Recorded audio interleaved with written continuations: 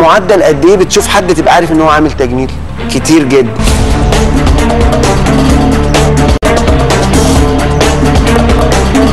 النهارده عايزك توصف لي تفاصيل هذا الكفاح المسلح. لا أنا طبيب في الأساس طبيب مهمته يعالج.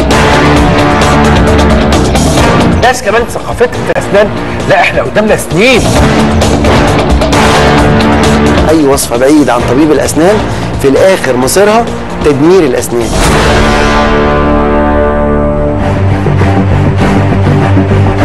الدكتور نور الدين مصطفى تخرج من كلية طب الفم والأسنان جامعة القاهرة تخصص في مجال تجميل الأسنان عضو الجمعية الأمريكية لتجميل الأسنان عضو الكونجرس العالمي لزراعة الأسنان جامعة نيويورك.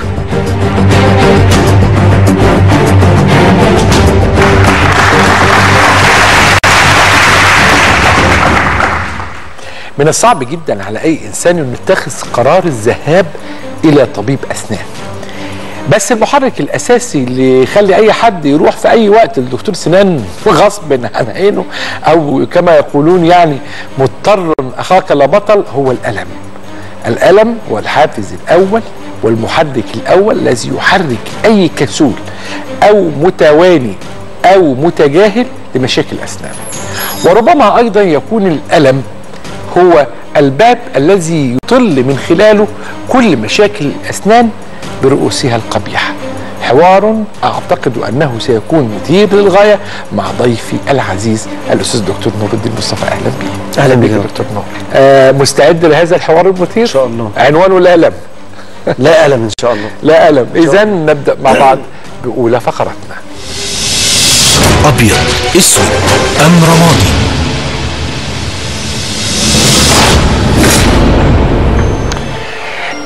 السؤال الأول سؤال أعتقد إنه غريب نسبيا يعني السؤال فيه غرابة شوية. هل هناك مريض الآن يذهب أو يبحث عن الأجهزة أكثر من بحثه عن مهارة الطبيب؟ هل ده مريض موجود؟ وإذا كان المريض ده موجود وبيذهب إلى الأجهزة والتكنولوجيا هل شيء محمود أم غير محمود؟ ده سؤال كده هو مركب. وفي النهاية هل بحثه عن تكنولوجيا أكثر من بحثه عن طبيب هل ده طريق أبيض أم أسود أم رمادي؟ لا ال- ال- البحث عن طريق آه، الأجهزة فقط دون آه، الطبيب طبعا أسود. أسود؟ طبعا. حتى مش رمادي؟ لا هقول لحضرتك على حاجة. دلوقتي مثلا إحنا هنتكلم على سي علاج العصب تمام؟ علاج العصب بيتعمل بقاله سنين آه، مع الناس ال- ال- ال- الشاطرة فيه قوي. بيتعمل بنسب نجاح عالية قوي تمام؟ الأجهزة زي ما اتفقنا بتعمل لي أول حاجة وقت أقل فتعب أقل اكيرسي أكتر فنتائج نتائج أعلى. آه، بنرفع نسب النجاح من 90 ل 95 ل 99 يعني بنرفع نسب النجاح بتاعتنا. لكن في الأساس في الأساس حضرتك كدكتور لو ما بتعرفش تستخدم الأجهزة يبقى الأجهزة لا معنى لها. يبقى الأساس عندي إيه؟ الطبيب. الطبيب رقم واحد واثنين وثلاثة وأربعة وخمسة. الجهاز هو امتداد للطبيب. الجهاز نفسه اللي فكر فيه الطبيب لأنه محتاجه. ففي الآخر الطبيب لو مش بيعرف يشتغل على الجهاز ده كويس أو ما اتمرنش عليه كويس خلاص أو مش دارس ال ال ال القسم أو التخصص اللي بيشتغل بيه الجهاز أصلا مش هيستفيد بيه في حاجة. ف وهو موجود موجود حالات كتير جدا. فعلا بتدور على الجهاز. تيجي تقول لك اصل المركز ده فيه أجهزة كتير. هي ماشي الأجهزة طبعا الحمد لله إحنا أول ناس جبنا كل الأجهزة. بس بس قبل ما تجيب الجهاز نمي الطبيب. عندك اللي هيشتغل على الجهاز هو الأهم. جهاز زي السيريك من غير دكتور محترف بيشتغل عليه ما يساويش يعني ما يساويش البلاستيك اللي فيه. ما لأنه ما بيعملش حاجة. الجهاز في الآخر لازم بيصور بطريقة معينة وبتعمل عليه design بطريقة معينة لازم تكون دارس. لو ما بتعرفش تستخدمه مش أي لازمة. كل جهاز ال cone beam جهاز عظيم جدا لو ما بتعرفش تقرأ ال 3D مش تفهم حاجة. ما هو 3D ده مش حاجة سهلة مش حاجة سهلة أنت تمسك تطلع منه كل ال reports وتطلع منه كل المشاكل. لا الطبيب هو اللي بيطلع الحاجة طلع ال- الحاجات والطبيب هو اللي بيشتغل بالجهاز هو اللي بيطلعه في إيده. آه لكن الجهاز مش هو ال- الأساس. آه يعني يبقى سؤالي برضو هل في نوعية دي من المرضى؟ موجود طبعا ما أنا بقول لك ده موجود. آه ده ده جيل قديم ولا جيل حديث؟ يعني ده شباب ولا كبار لا ده ده جيل ده جيل آه، أنا شايف أكتر منه الجيل الج- القديم. الجيل القديم هم أقول لك ليه أقول لك ليه لأن الجيل القديم عانى وتعب. آه آه آه. أكتر ناس تعبت تعبت في سنين في سنين حياتها اللي فاتت دي اللي هم. الناس اللي اتعالجت في السبعينات في الس- والثمانينات. اللي هم آه الناس دي. الناس دي ما كانش فيه تكنولوجي كتير وتعبوا كتير فبقى يعني طواق إن هو يشوف أي حاجة تريحه. فمن حقك. من حقك طبعا وده موجود ما الجهاز موجود على فكرة. أنا عايزينك بس إيه وأنت بتختار الجهاز اختار معاه الدكتور. اختار قبله الدكتور. يعني اختار الاثنين سوا تخش الجهاز بس. برضو السؤال اللي جاي هل يوجد نوعية دي من المرضى؟ ده سؤال واللي هقوله ده هل ده أبيض أو أسود أو رمادي؟ تمام. اشتراك مريض في الخطة العلاجية. تمام. يعني المريض يحط مناخيره في الخطة العلاجية يقول مثلا للدكتور لا أنا عايز أعمل كذا قبل كذا أو اعمل لي كذا وبلاش كذا. هل ده مريض موجود اولا أو لا؟ أعتقد إنه موجود, موجود وكتير مش طبعاً. قليلين. طبعاً. بس هل الطريقة دي هل تدخل المريض طبعا أبيض أو أسود أو رمادي؟ أنا أنا استبعد الأبيض بس أنا لا أنا. بالنسبة لي أسود آه التدخل. آه. أسود التدخل. آه. لكن إشراكه في الخطة العلاجية ده أبيض. إشراكه يعني إيه؟ إشراكه مش أنا باخد رأيه. إشراكه إن أنا بفهمه الت- التفهيم هنا له دورين. الدور الأول إن هو يبدأ ي- ي- يستوعب ليه إحنا هنعمل الخطوة الفلانية قبل الخطوة الفلانية آه، ده مهم قوي. ال- الحاجة الثانية ده ده education أنت دورك كدكتور إنك برضو تعلم الحالة. حضرتك أنا ما ينفعش مثلا أعمل لك ال crown قبل علاج العصب علشان خاطر دي ترتيب معين. ما ينفعش أعمل لك تجميل وأنت عندك التهاب في اللثة لأن بعد كده اللثة هتعمل مشاكل فهتبوظ لك التركيبات. هنا أنت بتشركه في الخطة العلاجية مش بتخليه يشترك معك في فرق ما بين إشراكه إشراكه يعني تعلمه وتعرفه تقول له والله إحنا هنعمل كذا قبل كذا وهنا الدواعي الطبية بتقول لا أنا لازم أعمل علاج الليث الأول لا لازم أعمل علاج العصب الأول لا هنا ممكن أعمل تقويم الأول هنا آه، آه، يبقى فاهم آه، الخطة العلاجية إزاي. وفي نفس الوقت إشراكه في ال- الخطة العلاجية ده تعليم ليه. لأنه ممكن يبقى بعد كده وهو لما أروح لدكتور تاني يقول له كده مجرد إن هو بقى فاهم هيبقى مريح للتعامل مع الطبيب الآخر طب هذهب يعني واضح بقى أنك أنت آه، ال- اللون الرمادي ما بتحبوش. يعني يعني باين كده جدا. حتى في أنا ما شفتلكش ابدا جرافات رمادي.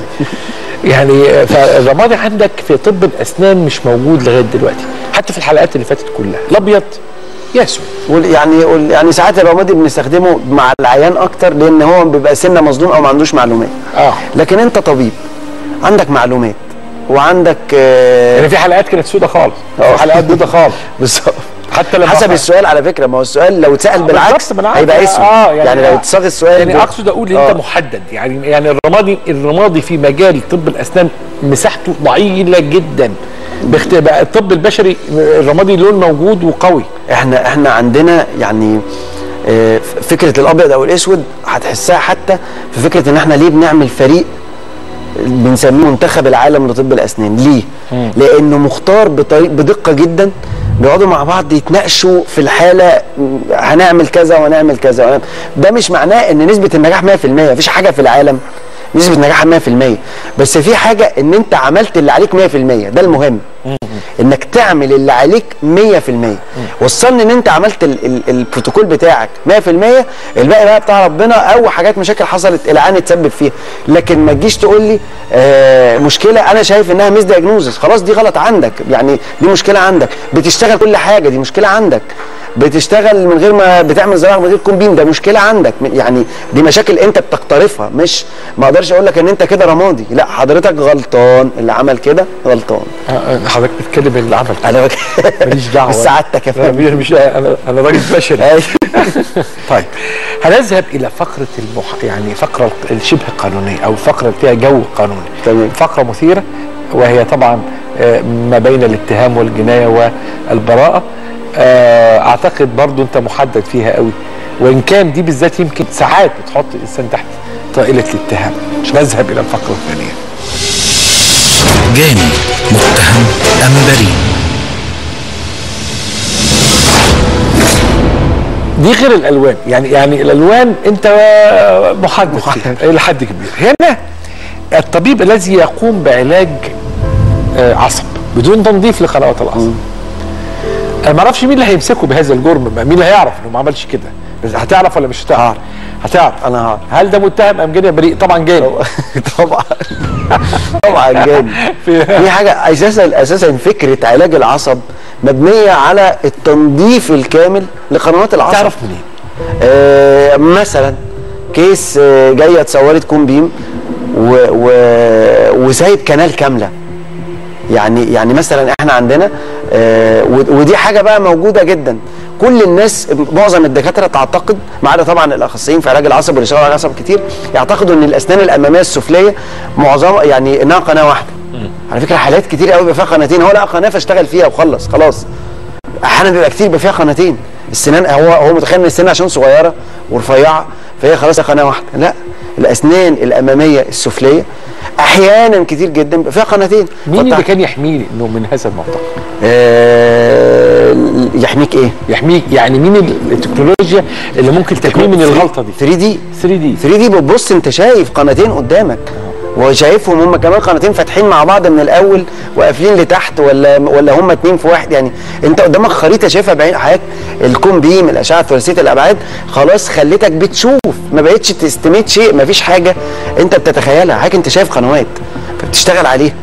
آه تاني حاجة لازم تكون فاهم كونسبت علاج العصب إيه؟ علاج العصب هو إزالة كل الأنسجة الحية أو الميتة في القناه بالكامل وبعد كده تطهير القناة وبعد كده بتطهر ببروتوكول معين آه الريجيشن يعني بغسول معين وبعد كده بنقفلها بال بال بال بال بال بال بالحشوات اللي هي إيه؟ ثلاثية الأبعاد حشو علاج العصب ثلاثي الأبعاد اللي هو ال injection. تمام؟ كده أنت عملت seal يعني أنت أزلت كل النسيج طهرت القناة آه، وتطهير القناة ده مهم جدا جدا. يعني مش مش إزالة مش إزالة النس- النسيج بس كويس. حضرتك وأنت بتشيل النسيج أنت بتدخل بكتيريا جوه ال canal وبتدخل بكتيريا تحت ال canal لا بعد ما بتزيل وتتأكد من إزالة قنوات ال- الأنسجة في قنوات علاج العصب بالكامل أنت بتطهرها. وبنطهرها هنا عندنا ال- البروتوكول العادي وبنستعين معاه أحيانا بالليزر وده موجود معانا. تمام؟ وبعديها ال seal. ال seal يعني انت ما بتديش فرصة بقى إن يبقى فيه voids أو تسيب أي حاجات آه بكتيريا تعيش فيها. ما هو البكتيريا بتعيش في أماكن. أنت حضرتك لما بتقفل قنوات الع- العصب بالكامل مش هتلاقي البكتيريا مكان تعيش فيه هتعيش فين؟ مش لاقي مكان تعيش فيه. فأنت بقى يبقى أنت كده عملت علاج عصب ناجح. ما بتعملش البروتوكول ده يبقى أنت حضرتك بتعمل علاج عصب أصلا غلط. فلما ما بيعملش كده جاني. أوكي. هنسحب اذا برضو آه، كنت حاكم بالجناية على كل أسئلتك. كل أسئلتك. الفقرة الثالثة. وهم شك أم يقين؟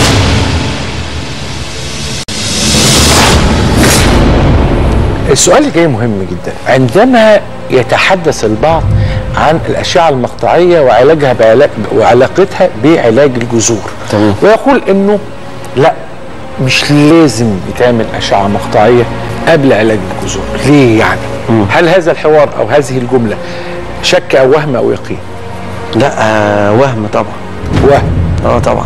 خلاص حضرتك عندك بقول لك عن- عندك الجهاز اللي هيوريك عندك كام كنال أنت عشت طول عمرك بتشتغل في ضرس فيه مثلا خمس خمسة كنال بتقفل لي منهم ثلاثة ومتخيل إن أنت كده شاطر.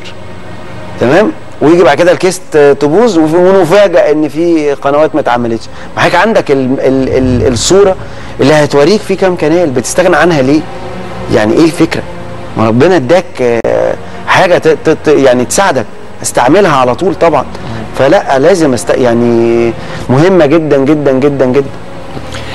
كان حوارنا واضح فعلا فيه إن أنت ما عندكش الطريق الثالث ما فيش البديل الثالث يعني هو لا ابيض لا أسود لا وهم يا يقين.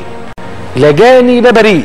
المتهم عندك غير موجود والرمادي لا تحبذه واضح كمان إن الشكوك عندكم في طب الأسنان ما بقاش ليها مكان قليلة. فما بقتش قليلة. ده أنا ما فيش. ولا شك. تقريبا. تقريبا. لكن أعتقد في اللقاءات القادمة سيكون الكثير جدا من الأطروحات موجودة في هذه الحوارات المثيرة للغاية. نورتنا. شرفت بيك يا دكتور. وكالعادة طب الأسنان مثير جدا. ويبدو أن التكنولوجيا رغم قوتها ورغم صعودها المذهل في الفترة الماضية الا أنه أثارت جدا رغم أن مستخدمي التكنولوجيا هم نفسهم الذين تحمسوا لها جدا. لأنهم الآن هم نفسهم الذين يقولون أنها تأتي في المرتبة الثانية بعد مهاره مهارة الطبيب. ولكن وعندما يقولون ذلك يدافعون عنها باستماتة واضحة. استماتة الفاهم لدورها ولقيمتها ولاجادتها ولعلو نسب النجاح المرتبطه بيها ولكن أيضا الفاهم جدا لأنه كل ده بدون مهارة طبيب يساوي السيارة الفراري بدون قائد ماهر. خليكم دايما معنا سلام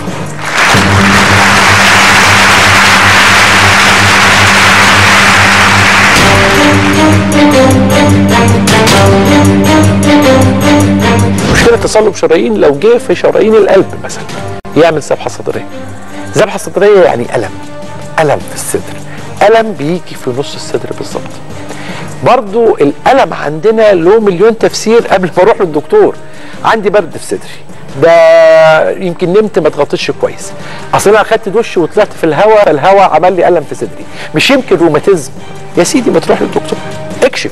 هيقول لك إذا كان ده التهاب في العضلات التهاب روماتيزمي ولا حاجة خطيرة جدا اسمها ذبحة صدرية.